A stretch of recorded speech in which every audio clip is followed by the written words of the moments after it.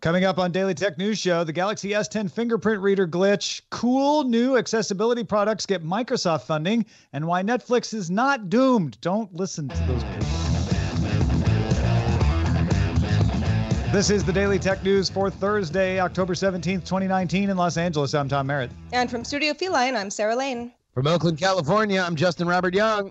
And I'm Roger Chang, the show's producer. We were just talking about science fairs and history fairs and then the technologies that keep your bird from running away on Good Day Internet. If you would like to hear that conversation and more, of course, you want to become a member at patreon.com slash DTNS. Let's start with a few tech things you should know. Google has discontinued Google Clips, its small camera that used AI to automatically take pictures. Google first introduced Clips back at I/O in 2017. Uh, we hardly knew you. Seriously, mm. literally. We, yeah. yeah. Say hello to Reader in Heaven. A listing appeared on Amazon for their as yet unannounced NVIDIA Shield Pro, which has since been removed. Along with the $199 price tag, uh, upgrades appear to include the new Tegra X1 Plus chip and support for Dolby Vision HDR, plus a AAA battery pa- powered remote with motion activated blacklit, uh, backlit buttons and an IR blaster. A new Google Voice update for iOS adds better support for Siri. So if you're using an iPhone, you can now use Siri to send messages and place calls using your Google Voice number outside of the app. Uh, you have to manually enable the feature in your iOS settings to make that work. Uh, but Google's own assistant can also send messages over, over Google Voice or place phone calls. You just have to have that app running. Mark Zuckerberg spoke at Georgetown University on Thursday. Among his remarks, he said that Facebook has 35,000 people working on security and implied that the budget is around $5 billion. He also said that banning political ads altogether would favor incumbents and defended the decision to not fact check political ads as a way to encourage more political discourse. Hashtag portal to Yeah. Anyone? Anyone? All right, let's talk a little bit more about the fingerprint reader on the Samsung phone. Uh, indeed, Tom. Samsung confirmed to Reuters that a fingerprint uh, uh that if a fingerprint is registered on a Galaxy S10 device with a screen protector in place, it can then be unlocked by any fingerprint. According to Samsung uh, support posts, this is because of some gel style screen protectors have a pattern that is picked up along with the fingerprints and then registers the biometric information. Samsung says it will release a software patch soon. Well, that's a relief. Yeah, uh, I, I find this fascinating because it's not if you use the the default screen protector that Samsung gives you, this doesn't work. So that makes sense. Samsung tested it with their own screen protector, but these cheap two dollar gel protectors apparently cause a pattern that makes the fingerprint register go, well, that must be part of the fingerprint. And then when the finger is not the same behind it. It's still seeing enough of that gel pattern to go, well, I, I, see enough of the pattern. That that works. Let's unlock the phone. So, I mean, the workaround is pretty easy. Don't register your fingerprint with the screen protector in place. Uh, but this is a fascinating thing that Samsung maybe should have anticipated, but didn't, uh, and uh, and shows some of the limits for how it tells a finger apart right? It's it's not that this is a problem with it telling fingers it's just it can't tell what's a finger and what's not when you're registering which is usually not a big deal because you usually don't put anything but a finger over that fingerprint sensor yeah, you know, and it also kind of raises some of the questions about where you put the fingerprint sensor and the fact that some of these, you know, Apple went away with it or, or went away from it in the iPhone because, uh, you know, they, they had more faith in Face ID than they did the the thumbprint. Uh, I, I think that this is, I mean, uh, I, I'm I'm I'm going to resist jumping on the like LOL Samsung uh, train here, but I do wonder whether or not they're going to be able to solve it through a software patch. I I would guess they're able to like go and do some some quick training with whatever machine learning algorithm they're using and and differentiate uh, the the kind of pattern that these screens show. Like that is something that they should theoretically be able to do, and apparently they think they can do it.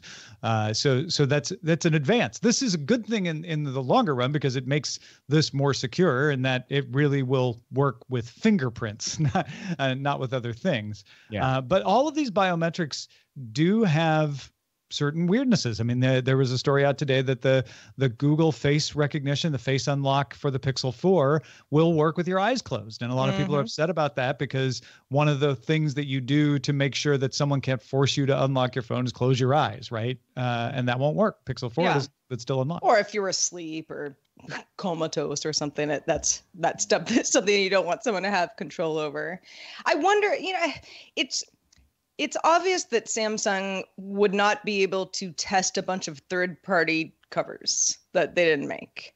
At the same time, it and and Justin, I'm with you on this. Like, I, it's not sort of like a ha-ha thing because it's the Yeah. probably that nobody just probably thought that this would happen. But at the same time, you know, how much would a cover that is likely to be bought by somebody because it's cheaper or I don't know, aesthetically pleasing or is the right color, that sort of thing, gonna kind of ruin one of the privacy, the big privacy security features of the phone itself. Yeah. Well, and also it's like whether or not they were able to test it or we should feel that they were negligent in their testing. If you have a security feature that, by the way, controls payments and uh, all, all sorts of other stuff, if it's unlocked, then you know uh, you have you have to understand that the mechanism by which you are using to guard that is faulty. Like or Well, is- and and I I would further say you should always assume that because Yeah, uh, your your thing is for sure. your your your code that you could enter into the phone, which is the other way of protecting the phone instead of a biometric, could all is, is actually less secure than this. It's it's easier for someone to socially engineer that out of you than to socially engineer your face or your fingerprint. Uh, so I, you know, I don't think this undermines the idea of these biometrics, but I, I I if if Samsung did anything wrong, it was being slow to respond to this because at first they said, "Yeah, this isn't probably a big problem," and, and that that was the wrong answer. But they finally got the right answer, which is we're going to fix it. Narrator. It was. Moving on to some Google news now. Google says its wireless Stadia controller will work wirelessly with the Chromecast Ultra when Stadia launches on November 19th. A USB C cable will be required to use the otherwise wireless controller with a computer or a phone. One of the controller's potential features would be to switch between devices without the need for repairing. Google told The Verge it's focusing on getting wireless play right on TV first. The Google Stadia controller also will not work with Bluetooth headphones, at least not at launch. Now, here I will uh, take a little Schadenfreude because Google made a big deal. Google themselves made a big deal about how the big advantage to their controller was that it connected by Wi Fi. Uh, and so you wouldn't even have to unplug it or anything. You just change your game from your phone to the TV and the controller goes with it, which it won't do at launch. Granted, it'll get there, but this, this kind of undermines the whole point of this controller. Uh, yeah. No, you want to know what? If you're like, oh no, don't worry, it'll eventually get to where it needs to go. And so far, we've gotten two announcements with Stadia where, don't worry, eventually we're gonna get to negative latency. Eventually, we're gonna be Yeah. able to do these. It's wireless with a couple things, Yeah. just not with other things. With really with one thing, just the one thing. And- but trust us. Yeah. Don't worry, yeah, this full future. I don't know. Uh, uh, I think Uh, yeah. Google Uh, get ahead of their skis uh, sometimes with these This is, you know, this is the early launch. This is the founders edition launch that you have to pay more for. Uh, but yeah, uh, you know, it's not officially launching till next year. So I'm sure it'll all be fine by then. Uh, here's something good that Google is doing temporarily increasing the amount it pays for discovery of exploits and site isolation. Uh, it also explained, or sorry, expanded its vulnerability reward program to include bugs in Blink, uh, the engine that Chrome uses to render HTML. Site isolation was strengthened in Chrome 77. It's meant to stop one website from accessing passwords or sensitive data from another site accessed through Chrome browser at the same time. So they used to share a lot of resources, and that would cause the ability for for one tab to access another tab. Now they isolate them and they say, look, it has to be coming from the same site that is in this tab for it to work. And that helps stop a lot of these vulnerabilities. Uh, However, in Chrome 77, site isolation added protection for exploits coming through compromised Blink rendering engine as well, which would have been one way to get past that. Uh, so now, y- even if the rendering engine got compromised, they're able to stop any kind of exploit through the rendering engine. In addition, password triggered site isolation has been enabled for 99% of Android devices with at least two gigabytes of RAM. If you're like, well, wait, why isn't it uh, on everything like it is on the desktop? It takes a bigger hit on your phone in performance. So they're only triggering it when you enter a password, which they think is the largest security threat for this kind of attack. Uh, well, you know, it, it's always good uh, to see proactive stories about security, right? As opposed to uh, of oh, definitely out of the barn.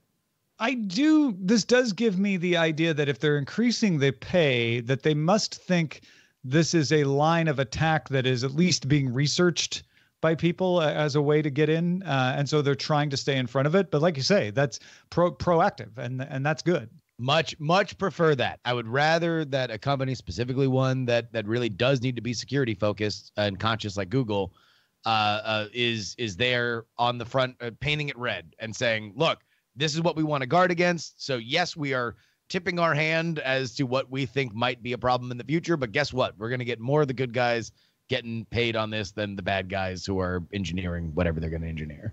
And this, this is a tiny, tiny security threat in, in reality.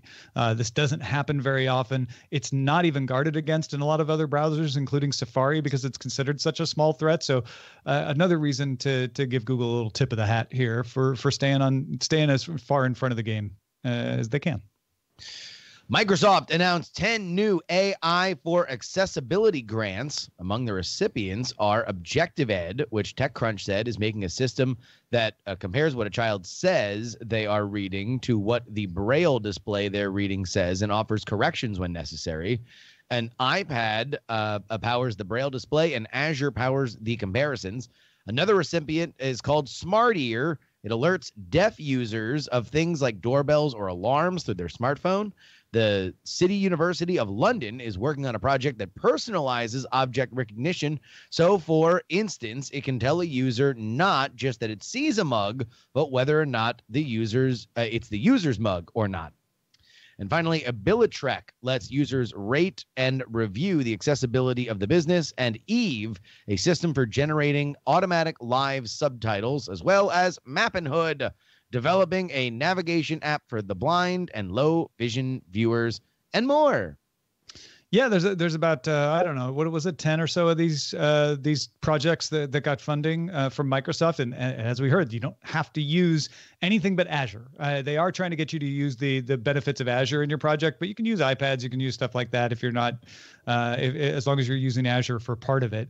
Uh, and I, you know, back to that Braille one you were talking about, that is something that is time intensive usually because there has to be a teacher there to correct the student uh, and what this does is takes that out. It makes it easier for the student to practice their reading uh, because the computer can see what they're supposed to be uh, getting from the braille, compare it to what they should be uh, reading, and and correct them as they go, which which makes it more efficient. Uh, that that's a great project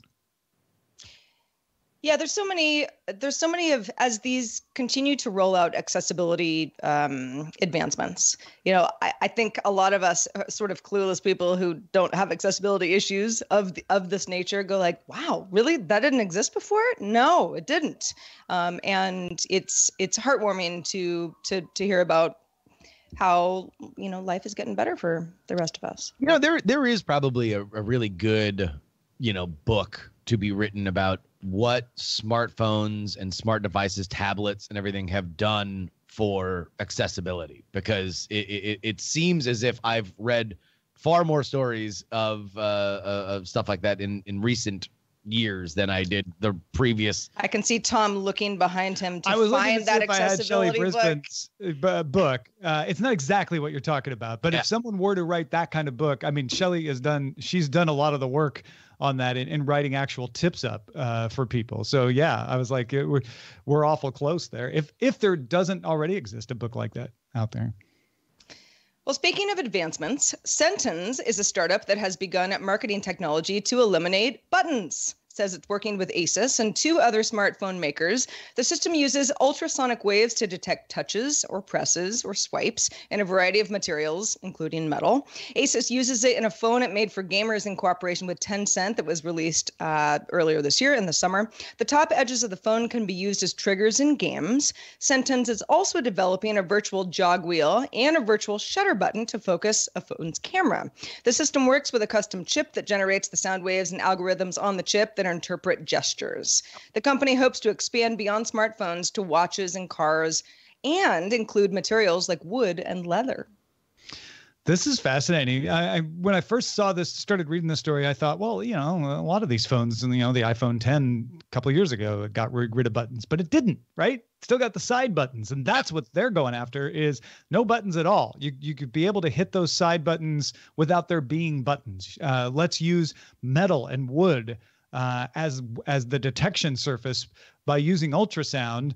Uh, and it's all about the machine learning. Uh, it sounds like they've got the hardware to create the sound waves uh, pretty pretty much underway. It's all about making that algorithm so that you can easily detect what's a button press and what isn't. Uh, because you want to make sure that it, you don't get false presses when people are just picking up their phones. And this yeah. might be better at that than an actual physical button because it can tell the difference when a phone is being picked up versus when it actively is being pressed. I, I know that this is not the hardware or, or research that we are talking about with this specific startup, but I will say we need similar advancements in making sure that a virtual button feels similar, if not better, than a physical button, which is so you know that you pressed it. Yes. Yeah. Like, yeah. That is a psychological thing that for me specifically, and it's not all buttons now, but the important ones, the ones where I, I want to feel satisfaction that okay, like am I just not touching this right? Like I need some kind of like burp, burp, I was always Although, impressed with the haptics on the on the old iPhones with yeah. that because when the phone would be off and I would touch the button, I'd be like, "Oh wow, that's right. That's not actually a button. That's just a depression with yeah. haptic feedback." So yeah, I wonder I wonder how much they can do that, especially if they're working with wood and stuff. This feels like one of those advancements that people like us are like, yeah, but without a physical button, is it really going to work the way it's supposed to work? Are you even going to know when you've depressed it properly? I, you know, we used to say that about mice, right? You know, left click, right click kind of thing. Mm. Now I got a trackpad where I do all sorts of things without clicking anything. Um, you know, it, it, you know, it's just, it's just sort of my finger being, uh, being detected. And so, yeah, I wonder. I wonder if in five years we'll kind of laugh about the fact that everybody talked about physical buttons and what we were all going to do if we got rid of them.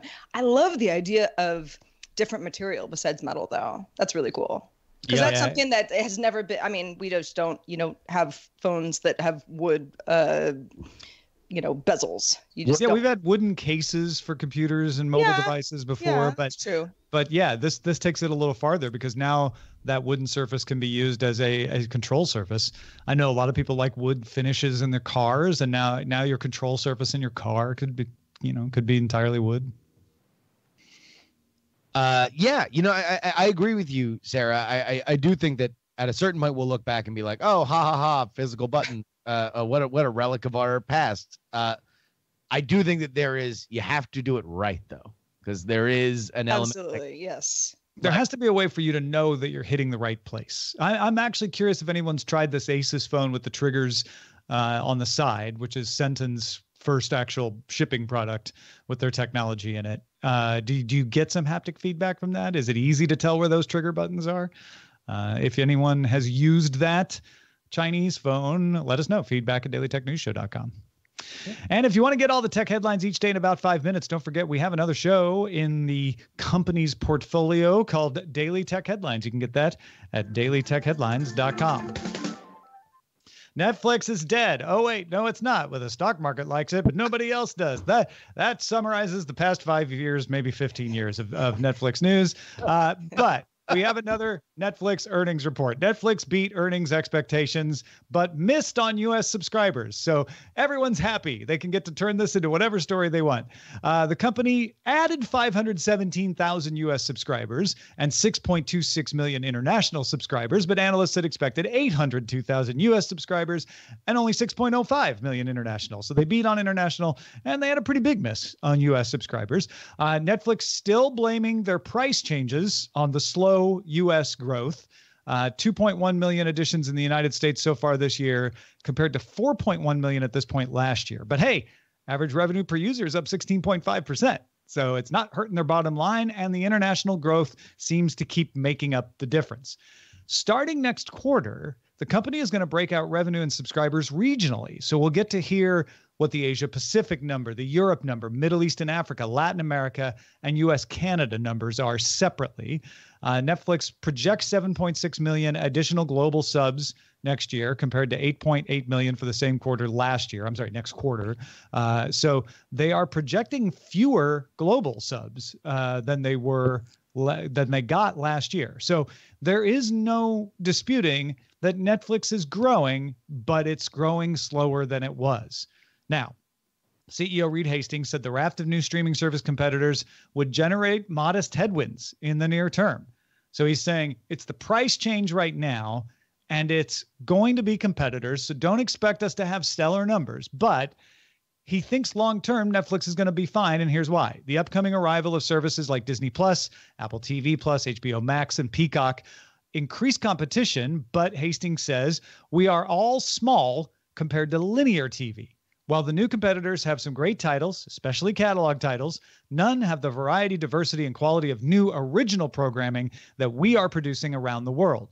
Hastings thinks they will all steal market share from traditional TV. He says that's what happened when cable channels came along. They didn't steal from each other, they stole from broadcast. That's what's going to happen here. We're not going to steal from each other, we're going to steal from cable. He says the likely outcome from the launch of these new services will be to accelerate the shift from linear TV to on demand consumption of entertainment. He said Netflix will continue to take bold swings, but it won't chase every deal on the table. Basically saying, okay, we've we've spent some money on some stinkers. We're going to try to be more select. And he threw some shade at Disney. He said, uh, I think that is every bit as valuable as drafting off a bunch of different franchises and waiting for them to burn out. Oh, oh get Lucasfilm, Marvel. Mm-hmm, shots fired. Uh, he hammered away on Stranger Things, Martin Scorsese, Michael Bay, Noah Baumbach, also mentioned Seinfeld uh, as as sort of examples of how they've got great content. Don't worry about Netflix. Now, Netflix needs more hits than that. No matter what it does, there's going to be pressure on domestic subs with new services until we get that wave of cord cutters hitting the inflection point. He, I, I, agree with Hastings. Like once people start leaving cable in, in larger numbers, then all of these services can survive and and grow. International growth is going to keep Netflix going while he waits for that. But to prevail when that influx comes, Netflix is going to need to be seen as HBO. That's what he's trying to describe themselves. We have the greatest originals. We're not just relying on back catalog and old intellectual property, but it's going to need more than Stranger Things and Scorsese for that. Yes, although do you think that they are not on the road? That, that they seem to be, uh, they seem to have had a fairly good track record of being able to push out a a big, uh, uh, everybody's talking about it kind of series. Uh, you know, and and and we're we just had a rash of them, like with you know Russian Doll season two will be another big uh, uh thing. So I don't know. I, I do think that Netflix certainly has spent a ton of money on uh content right? But I don't know if anybody is as far ahead of the game or as metrics minded as Netflix is to take educated guesses. And I think that's his big slam on Disney is like, all right, well, you did it the, the caveman way. Uh, uh, look, here's this gigantic old thing. We'll we'll buy the old thing and turn out new versions of it. We're doing the the the the super new way of all right, well, we're gonna give David Spade a deal because for whatever reason we know that kids six through adults 60 all love Adam Sandler movies to watch together, and that's their strategy. I I think yes, they are on the road. They don't have enough going right now to counteract their slowing growth, though. If they were more solidly on the road, we'd see stronger growth from them, whether they have a price increase or not. Look at HBO. Uh, HBO is, is, you know, everyone thought, oh, what are they going to do after Game of Thrones? But now people are talking about Big Little Lies, Watchmen. Like they keep coming, Righteous Gemstones. They keep coming, uh, Succession. They keep, co- you know what I'm saying? Whereas yeah. Netflix, it's like, oh, Stranger Things is done. Well, I don't have to watch Netflix for another couple months till my my favorite show comes back, and that's that's what I'm talking about. That has they, not always been the case though for HBO. HBO is on a hot streak now, but sure, I, sure. I, I do that these things happen cyclically. And what Netflix has that HBO does not, because HBO is one clearinghouse, right? It's like they have their their Sunday slots. Now they've expanded it into Monday, where prestige television lives, and they cleared the dance floor for that. Netflix doesn't care if you subscribe because you like these tween rom coms, or you like stand up comedy, or you like prestige hour long dramas. They are there for all of it, and they are constantly trying to micro target. And that's, you're right. The numbers are the numbers are the numbers. But if their play is content, I still think they're ahead of the game there. You know, I- Netf- Netflix's argument that really the enemy is still uh, the linear cable networks. I mean, yes, that's true. That's that's certainly true for U.S. subscribers, uh, and the tide will change, shift, shift, and when that happens, Netflix is yeah. I feel like they're going to win in the short term, but it's what we always talk about is well, okay, when you have a lot of choice as a cord cutter, and you kind of realize well, hold on a second. I don't really want all of these channels. I want just certain things that are important to me. I don't think Netflix wins in the long term because the, the, it will have uh, too many competitors. And and right now the perception of Netflix isn't what Reed Hastings needs it to be. He wants it to be prestige programming. He wants it to be we're the place with the best originals, no matter what your taste. You like rom coms, you like Christmas prints, uh, you you like you like know, Seinfeld reruns? It's all, of here. it. And that's really not how people talk about Netflix. They talk about it as a place to just sit down and watch something. The per- the perception is stuck in the past of Netflix, the DVD purveyor of they're the place that has everything. And that's why you see people complaining like they're losing friends. Netflix isn't going to be worth something anymore. He needs to shift that perception. I mean, but it it is there on some level, right? Like, Mhm, mhm. and like, like it is, and maybe this is just my own little Twitterati uh chamber, but you know, it seems like it's still like it seems like five times this year a Netflix show just totally took over my Twitter timeline and everybody was talking about it. Mhm. And now I had to sit down and binge watch eight episodes of some random show. yeah, Did you I- enjoy that random show though? Because that's that's Oft, that's the kicker. oft I did. Oft I did. Uh uh not always, but oft. Hmm. yeah, no, I and I I think he needs to ha- have that happen more. That's all I'm saying. So Yeah. that when that influx comes, people are choosing Netflix for multiple reasons. And uh, don't get me wrong, Netflix is perfectly positioned to make that happen. Uh, but but they haven't they haven't uh, they aren't as far ahead of the game as I think maybe I expected them to be. That's all. Well, but but also this would be either this would be the scariest moment that then is as Reed Hastings hopes, not as bad as it seems with all the the, the barbarians at the gates right now, or it's really uh, the beginning of a huge problem where subscriber fatigue eventually starts eating at Netflix. Yeah, uh, even even if they have the worst version of what I'm talking about, though, he's right. People are going to start leaving cable, and and just the rising tide will lift all these boats. The, the I, I go back to what we started this conversation with. The problem isn't the competitors. The problem isn't Disney Plus. Uh, that the, that that is not going to be the challenge. I don't think. Here's the other thing that you know you that is not yet dawned that will be a, a larger issue in uh, the next five years sports rights deals we are we are at the point now where so one of these companies and it might be netflix if they want to get into more live stuff uh, or, or live stuff at all that they're going to make a pitch for something uh, Yeah. in, in, in that realm It won't be Netflix, but as soon as sports becomes perceived as something you can easily get without cable, even though really right now it is, uh, that that's when that big influx is going to happen. You're right. Hey, thanks to everybody who participates in our subreddit. Netflix stories and others are encouraged. You can submit any story you like and then vote on others at dailytechnewsshow.reddit.com. We also have a lively Facebook group. Come on in, facebook.com slash groups slash Daily Tech News Show. I'm sorry. I just noticed Beatmaster in the chat room wrote, "Why do you think they say Netflix and chill? They need future customers." All right, let's check out the mailbag. Let's do it. Paul, the software entomologist, those are his words, says the LinkedIn events announcement, which we talked about on yesterday's show, is right on the heels of meetup.com announcing that they are exploring charging for RSVPs. He uh, links us to a Forbes article where, yes, it would actually upset a lot of meetup.com uh, subscribers. Paul says several of the meetups that I attend are now ready to ditch meetup.com. I don't think meetup.com is that differentiated, except it has the bulk of meetup traffic right now. A new competitor could swoop in and take it over pretty easily, I think, especially if that uh, had a lot of existing traffic like LinkedIn does. that's a really good point. I hadn't even thought about Meetup.com. Uh, they they could be the roadkill uh, more so than than anything else on on the way to uh, LinkedIn's uh, adding of of an incremental feature. Uh, I didn't realize that that as many people were still using Meetup.com as are. So thank you, Paul, for that. Thanks, Paul. And shout out to our patrons at the Master and Grandmaster levels, including Kevin S. Morgan, Paul Reese, Michael Akins. Thanks to you and everybody else who supports us. Thanks also to Justin Robert Young for being with us this fine Thursday. Justin, what's been going on since we saw you last? Uh, well, obviously, we had a big debate uh, on uh, or this week on CNN and uh, co-hosted by the New York Times, and I covered it in depth. Uh, not only that, but also uh, we had a breakdown of the AOC endorsement of Bernie Sanders. We had Dave Levinthal from the Center for Public Integrity to break down all of the Q3 fundraising money and some of the troubling trends for a few candidates that those revealed, and had a great chat with Andrew Heaton.